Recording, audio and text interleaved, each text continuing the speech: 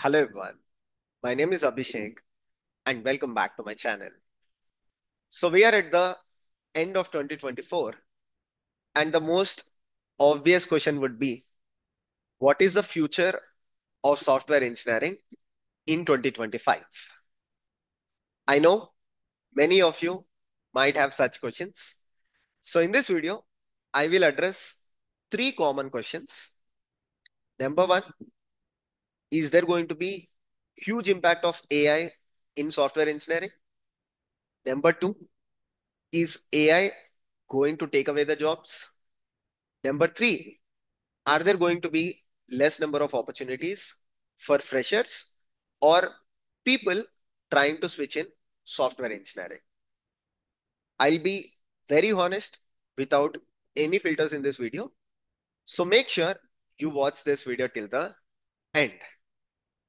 Let's get started. So to be honest, in 2025, I personally believe every company, whether it is a MNC, whether it is startup, will start investing in AI if they haven't done already. That doesn't mean every company will start developing ML models, every company will create LLMs. No, that is only done by top 10% companies, NVIDIA, Meta, Apple, Amazon, or some startups. Rest 90% of the companies will start investing in AI to equip their software engineers with the right AI tools. We have already seen that in 2024, where many companies have provided their developers with the license of GitHub Copilot, pieces for developers, or similar coding assistants or AI assistants. And the impact has been very positive. Those companies or the developers in those companies were able to use GitHub Copilot and they were 1.5, 2, or little more productive than what they used to be. Because of this positive impact in 2024, which was seen by some companies, this will be transformed and you will see rapid adoption of AI in 2025, where developers, QE engineers, DevOps engineers, everyone will be equipped with the right AI tools. Because even the QE engineers can use GitHub Copilot, even DevOps engineers can use GitHub Copilot. GitHub Copilot is basically, for example or reference, there are many such coding assistants.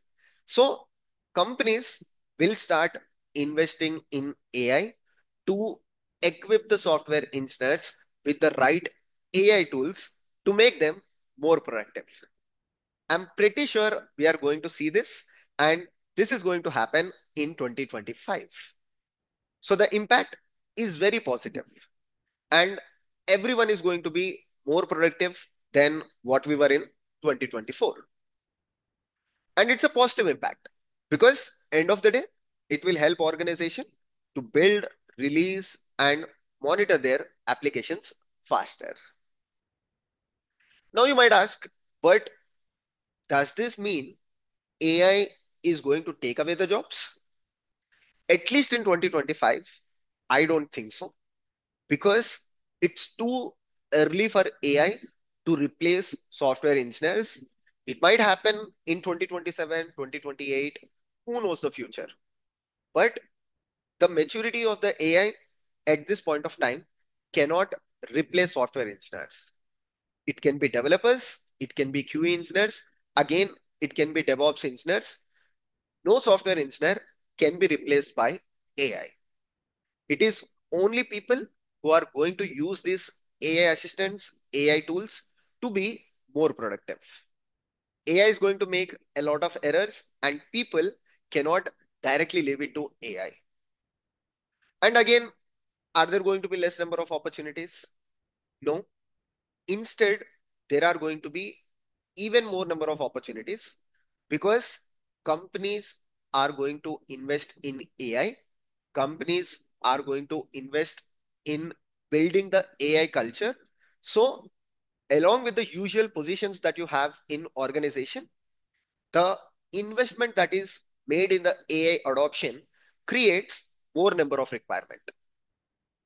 Eventually, that might get stable or there will be job reduction maybe in 2028 or anytime in future. But because the AI adoption is going to happen in 2025, 2026, that means there are going to be more number of opportunities along with the usual positions. So you don't have to worry whether you are targeting in a fresher role in 2025 or you are trying to switch your career in 2025. It is a great year. Only thing that you need to focus is start using AI with your regular activities. Start using ChatGPT, start using prompt engineering, start using AI assistant, and most importantly, AI ops. Yes, AI ops is going to play a very, very significant role. And people with the skill of AI ops, I think they are going to be a very highly paid engineers. And everyone should start learning this skill, especially DevOps engineers, because it is easy for them to adopt AI ops and use AI to reduce the daily operations. I'll make more videos on AI ops. We are also planning to do a playlist on AI ops. So stay tuned for it.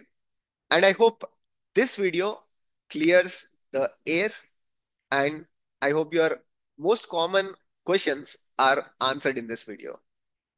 Thank you so much for watching today's video. If you think I haven't covered something or if you have any questions in this particular space, put that in the comment section and I will definitely answer your queries. See you all in the next video. Take care. Bye bye.